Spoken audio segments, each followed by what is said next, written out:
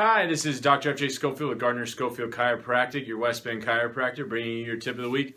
I want to go over is DSG destroying your health?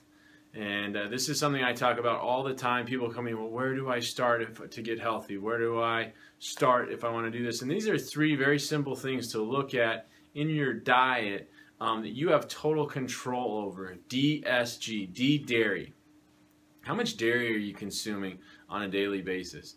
Humans are the only animal uh, that drinks uh, milk uh, when they're adults after they're babies. And it's the only animal that drinks milk from uh, another animal. Now, I'm not saying you can't have dairy, um, but I'm saying we drink a tremendous amount. I've had a lot of people with chronic sinus infections, chronic ear infections, with chronic allergies, and they were drinking uh, large quantities of milk every day.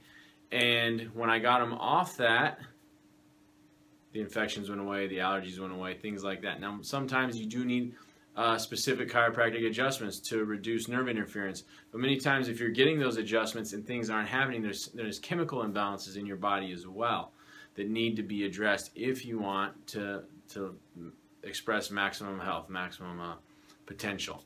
So, dairy, number two, S, sugar. Don't need sugar in your diet.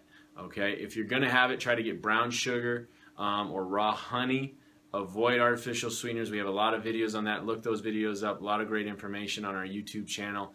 Um, also, avoid high fructose corn syrup. Try to get sugar um, when you do have it, but just minimize it. You don't. And again, what do we teach in our office? Five on, two off. So during the week, eat healthy. Avoid sugar. Very little, if no sugar at all.